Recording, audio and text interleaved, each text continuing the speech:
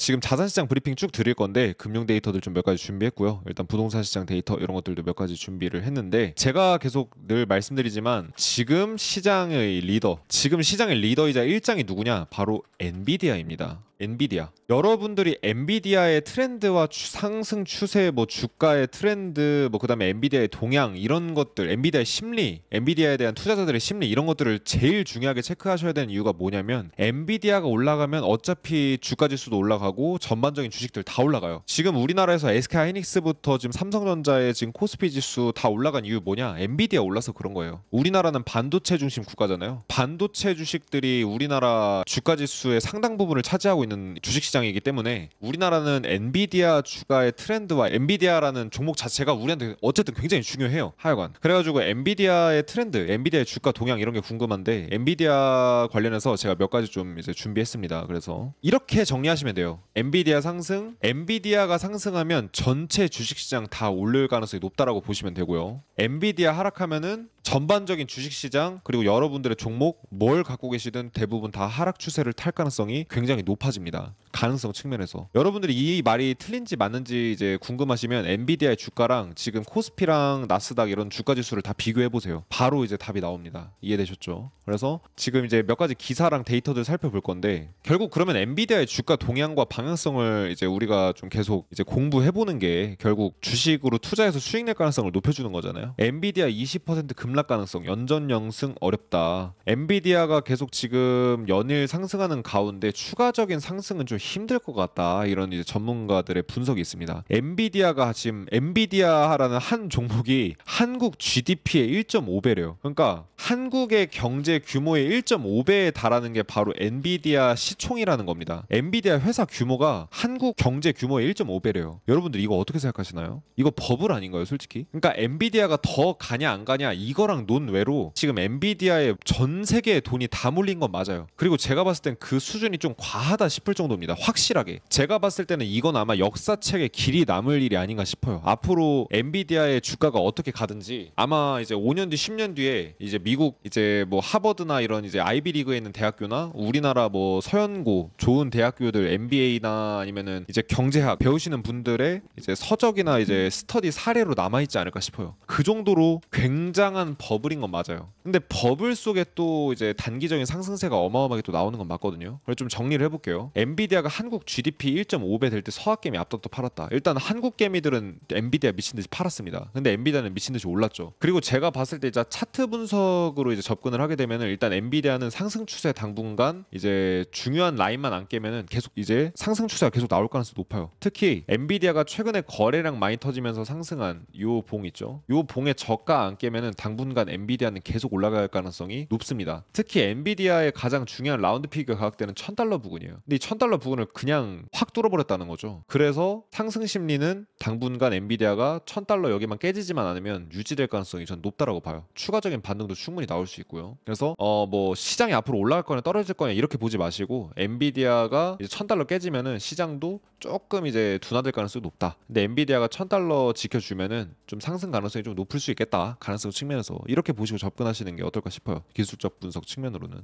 그리고 지금 최근에 이제 목요일 기준으로 S&P 500 미국 주가 지수에서 지금 장대 음봉 하나 나왔습니다. 근데 좀 이제 크기가 커요. 기존의 흐름을 다 잡아먹을 만한 이제 장대 음봉인데 지난 이제 4월 목요일 같은 경우에도 똑같이 목요일이었어요. 이때도 이때도 장대 음봉 터지고 나서 며칠 지지부진하더니 주가가 확 떨어졌거든요. 그래서 지금도 그럴 거 그런 거 아니냐 이렇게 지금 이제 투자자들의 불안감이 좀 늘어나고 있습니다. 장대 음봉 터지고서 주가 빠지는 거 아니냐. 근데 이렇게 보시면 될 것 같습니다. 이 장대 음봉 터진 부근의 저가 부근, 요 부근만 안 깨지면 일단 장대 음봉의 힘은 강하지 않거든요. 투자 심리가 지금 상승도 아니고 하락도 아닙니다. 사실 지금 사람들이 지금 다 관망하는 추세예요. 그러다 보니까 지금 확실히 좀 지켜봐야겠지만 여러분들 코인 매매하시던 주식 매매하시던 확실히 아시겠지만 지금 요새 엔비디아도 오르고 다 분위기 나쁘지 않은데 뭔가 또 분위기가 광기라고 보긴 또 힘들 정도의 분위기예요. 그러니까 뭐 이게 오르는 거냐 떨어지는 거냐 이렇게 참 애매한 상황이거든요. 그럴 때에는 확실하게 중요한 가격대만 잡아놓고 대 응하시면 될 것 같다 이렇게 좀 말씀을 드리고요. 엔비디아 관련해서 몇 가지 좀 보여드리고 싶은 데이터가 있는데 지금까지 이 빅테크 종목들이나 나스닥 지수의 흐름을 보게 되면 1992년부터 닷컴 버블 터지고 나서 현재까지 한 지난 30여 년 동안의 빅테크 주가들의 흐름을 보게 되면 자 구글이 일단 1000% 정도 올랐어요. 즉 10배 정도 뛴 거죠. 이제 30년 동안 구글에 투자했으면 꽤나 돈을 많이 벌었을 겁니다. 그리고 이제 페이스북에 투자를 했어도 이제 페이스북이 2013년인가쯤에 상장이 됐거든요. 그 이후로 이제 1100% 상승을 했고요. 아마존은 4700% 올랐습니다. 그리고 애플은 9650%가 올랐대요. 근데 마이크로소프트, 마이크로소프트는 13300%, 즉 130배 오른 겁니다. 내가 만약에 마이크로소프트에 1억이라는 돈을 투자했으면 이제 한 20년 정도 지났을 때, 2, 30년 정도 지났을 때 투자금이 130억이 되는 거죠. 1억이. 근데 엔비디아는 무려 2만 2000%가 올랐다라는 얘기를 합니다. 즉 이 표를 이제 만든 사람은 뭘 얘기하고 싶은 건지 몰라도 확실히 엔비디아가 지난 10년 동안에 봤을 때 엔비디아가 진짜 다른 종목에 비해서 너무나 많이 올랐다. 그렇기 때문에 이제 어떤 그 그러니까 지금 엔비디아가 대장주인 건 확실합니다. 그걸 이제 넘어서서 엔비디아가 확실히 다른 종목에 비해서 정말 이제 말도 안 될 정도로 많이 오른 건 맞다. 우리가 요런 insight를 좀 갖고 가야 되긴 할 것 같아요. 엔비디아가 더 오르냐 마냐 이걸 떠나서 일단 엔비디아가 정말 정말 정말 많이 올랐고 한국 GDP의 1.5배가 될 정도로 정말 많이 올랐다. 그러니까 이제 이게 버블이냐 아니냐를 떠나서 확실히 너무나 많이 오른 거는 맞다. 이거는 우리가 여러분들 알고 가셔야 된다라는 얘기를 좀 드리고 싶습니다. 저는 참고로 엔비디아가 이제 한 10년 뒤에 보면은 사람들이 누구나 다 엔비디아는 버블이었다라고 얘기를 할 것 같습니다. 저는 지금 엔비디아가 상당한 버블이라고 봐요. 단기적으로 얼마나 좀 더 오를 수 있을지는 몰라도 상당히 주가가 버블인 건 맞다라고 저는 생각을 합니다. 자, 그리고 엔비디아가 왜 제가 버블이라고 생각하는지 엔비디아가 왜 버블이라고 생각하나요? 누가 저한테 물어보면은 저는 이 표 하나로 다 설명할 수 있을 것 같아요. 자, 이 표 하나로 제가 설명 다 끝낼 수 있을 것 같은데 이 표를 한 줄로 요약하면 어떤 얘기를 하는 거냐면 엔비디아의 시총이 S&P 500 주가 지수에 미국 주가 지수에 상장된 에너지 기업 전체 시가총액보다 훨씬 규모가 큽니다. 엔비디아의 시가총액은 지금 엔비디아 시가총액이랑 에너지 섹터의 전체 시가총액을 보시게 되면은 지금 어마어마하게 차이가 나요. 심지어 엔비디아가 압도적으로 큽니다. 그냥 큰 것도 아니야. 압도적으로 커요.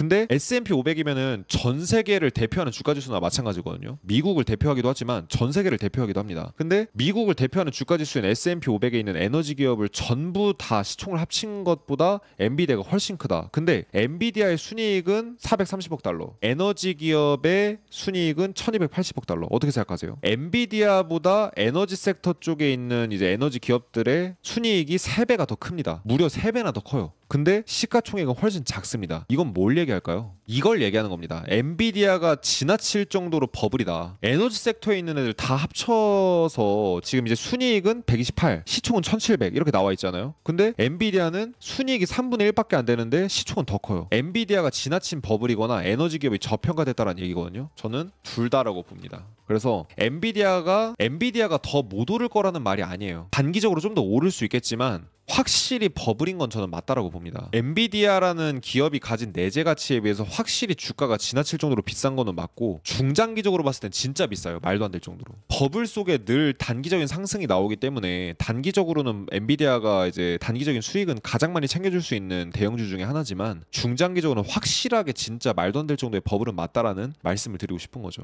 계속해서 몇 가지 데이터 쭉 살펴보겠습니다. 이제 요 표도 제가 요거는 이제 설명을 좀 자주 했던 표인데 상위 다섯 개, 상위 다섯 개 주식에 돈이 얼마나 많이 몰렸느냐 이걸 보고서 지수의 방향성을 가늠할 수 있는 방법이 있어요. 자, 주가 지수가 많이 안 올랐던 주가 지수가 제자리 걸음을 했던 때가 있거든요. 이때가 어느 때냐면 상위 다섯 개 주식에 돈이 다 몰렸을 때입니다. 상위 다섯 개 주식에 돈이 몰린다는 건 무슨 얘기냐면 초보 개인 투자자들이 엄청나게 이 시장에 많이 들어와 가지고 뭘 살지 몰라서 그러니까 개인 투자자들이 아무것도 모르는 개미들이 이 시장에 들어오면 뭐부터 하냐면 삼성전자랑 카카오부터 사요. 왜 그러냐면 누구나 다 알고 있고 앞으로 장기적으로 오를 거라는 생각이 드는 초보자들 입장에서 그런 생각이 드는 주식이니까. 근데 그건 미국도 마찬가지예요. 그래서 미국 주가 지수가 많이 안 오르고 제자리 걸음을 했던 때를 보면은 상위 다섯 개 주식에 어마어마하게 많은 돈이 몰렸을 때 그때 시장이 많이 안 올랐었습니다. 그 이후로 니프티 피프티 버블, 닷컴 버블 터졌었거든요. 근데 지금도 그때처럼 상위 다섯 개 주식에 어마어마하게 많은 돈이 몰려 있다. 지금 상위 다섯 개 주식에 그러니까 S&P 500, S&P 500 주가 지수의 3분의 1이 지금 상위 5개 주식이에요. S&P 500개 기업 중에 상위 5개 기업이 이 주가 지수의 3분의 1 정도에서 4분의 1 정도를 차지하고 있다는 거예요. 말이 되시나요, 여러분들? 이게 이해가 되시나요? 지금 1970년대 이후로 거의 50년 만에 최대다 싶을 정도의 개인 투자자들이 유입이 됐고 시장이 버블이다라는 확실한 증거 자료라고 보시면 될 것 같습니다. 그래서 요 지표도 해석하기 나름이지만 중장기적으로 투자할 땐 먹을 게 많이 없다. 그래서 투자 시장이 앞으로 어려워질 거기 때문에 대응 또한 굉장히 철저하게 해나가야 되는 상황이다. 이렇게 좀 이제 볼 수 있을 것 같다는 생각이 들고요. 이제 나스닥 지수, 미국 주가 지수의 어떤 흐름을 예측하거나 내지는 뭔가 우리가 시장을 분석하려고 할 때 여러분들이 좀 참고하셔야 되는 지표가 여러 개 있는데 자 여러분들이 이렇게 생각하실 수 있어요. 아 그럼 앞으로 뭐에다 투자를 해야지 우리가 돈을 많이 벌 수 있을까? 중장기적으로 5년 10년 투자를 한다라고 했을 때 정말 저평가된 곳이 어디예요라고 물어보시면 저는 단언컨대 원자재라고 답변하고 싶어요.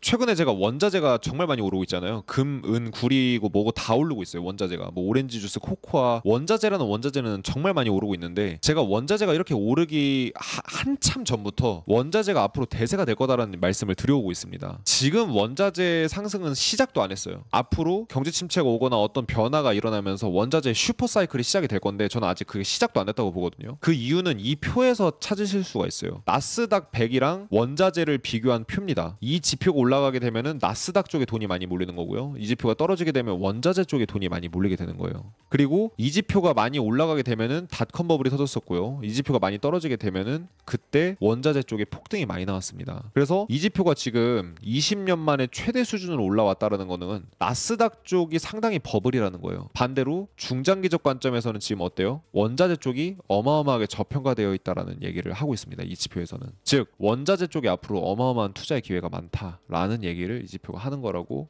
좀 보실 수 있을 것 같아요. 이해되시나요? 자 자산 시장 쪽에서 좀 브리핑이 좀 오래 가고 있는데 계속 일단 쭉 말씀드려 보겠습니다. 자 그리고 그 이제 외국에 파이퍼 샌들러라는 이제 그 금융 회사가 있는데 이 파이퍼 샌들러 시그널이라는 게 있어요. 파이퍼 샌들러 룰이라는 게 있는데 이 지표상으로 이제 경제 침체 시그널이 나오게 되면은 100% 확률로 경제 침체가 터졌습니다. 1940년대 이후로 쭉 놓고 현재까지 지금까지 모든 경제가 위기 즉 IMF 가 터지거나 뭐 이런 이제 경제 위기 있죠. 경제가 정말 어려워지고 실업자들이 많이 나오고 주가가 폭락하는 이런 시장을 100% 정확하게 적중한 지표가 있어요. 그게 바로 파이퍼 샌들러 시그널이라는 건데 파이퍼 샌들러 시그널이 정말 흥미로운 게 뭐냐면은 2024년 전후로 해가지고 파이퍼 샌들러 시그널이 터졌습니다. 그러면은 시간의 문제일 뿐이지 경제 침체는 얼마 안 가서 시작될 거다. 지금 이 지표는 이렇게 얘기를 하고 있어요. 보통 파이퍼 샌들러 시그널이 터지고 나서 1년 내외로 뭐 빠르면 바로 터지기도 하지만 보통 1년 내외로 경제 위기가 터졌습니다. 근데 지금 파이퍼 샌들러 시그널이 터진 지가 좀 됐거든요. 그래서 앞으로 시간의 문제일 뿐이지 경제 위기나 경제 침체, 뭐 실업률 폭등, 주가 폭락 이런 것들은 시간이 걸릴 뿐이지 분명 우리에게 오고 있다. 이런 이제 확실한 시그널을 우리 이제 지표에서 우리가 확인할 수 있다 이렇게 좀 말씀을 드려보고 싶고요. 지금 이제 부동산 시장 또 궁금해하시는 분들 많은데 저는 부동산 전문가는 아닙니다. 하지만 금융 데이터랑 경제 측면에서 분석해봤을 때 부동산 데이터가 계속 나와서 부동산 시장에서 이제 좀 여러분들 부동산 투자할 때 참고하실 만한 데이터를 제가 좀 이제 전해드리는 편인데 지금 미국을 기준으로 자 2000년대 이후로 24년 만에 신규 사무실 건설 수가 차 사상 최저치를 기록을 했어요. 고점에서 지금 막 박살이 나고 있거든요. 이게 무슨 얘기냐면은 미국에서 더 이상 사무실 건물을 안 짓는다는 얘기예요. 그럼 사무실 건물 왜 안 지을까요? 이유가 중요하잖아요. 두 가지 이유입니다. 하나는 금리. 금리가 너무 높으니까 이자를 그러니까 이제 돈 빌려 가지고 막 건물을 짓고 싶어도 이자가 너무 비싸니까 사무실을 못 지어요. 두 번째로는 사무실이 지금 미국에서 너무나 이제 가격이 많이 폭락하고 있어요. 많이 폭락한 건물들은 마이너스 80% 폭락했습니다. 천억짜리 건물이 200억에 팔려요. 이게 말이 되는 일인가요? 근데 워싱턴 DC나 뭐 샌프란시스코 이런 이제 다양한 이제 미국에서 굉장히 이제 굵직굵직한 지역들 있잖아요. 이런 지역들에서도 마이너스 70% 마이너스 50% 폭락한 사무실 건물들이 속출하고 있습니다. 그러면서 사무실 건물에 투자했던 이제 펀드나 투자자들이 지금 굉장히 어려움을 많이 겪고 있어요. 그래서 지금 이제 사무실 건물 건설하는 수가 사상 최저치를 기록한 건데 그만큼 지금 미국 부동산 경기가 상당히 어려워지는 추세로 가고 있다라는 걸 여러분들이 꼭 체감을 하셔야 된다라는 말씀을 좀 드리고 싶은 거예요. 그래서 지금 현재 이제 엔비디아 주가서부터 해가지고 엔비디아 트렌드부터 전반적인 주식시장 그다음에 경제 지금 흘러가는 방향성들을 이렇게 좀 한번 싹 짚어드렸고요. 판단은 여러분들한테 맡기겠습니다만 제가 봤을 때는 단기적으로 이제 주가가 얼마나 올라갈지 뭐 이런 게 중요한 게 아니라 중장기적으로 어마어마한 큰 허리케인이 우리에게 다가오고 있다. 이 사실은 정말 추측이나 예상이 아니라 거의 기존 사실이라고 저는 봐도 될 정도로 명확하게 데이터들에서 얘기해주고 있기 때문에 좀 중장기적 투자는 좀 조심하시고 투자하실 거면 단기적인 투자만 좀 지향하시는 게 어떨까 이렇게 생각을 하고 있습니다.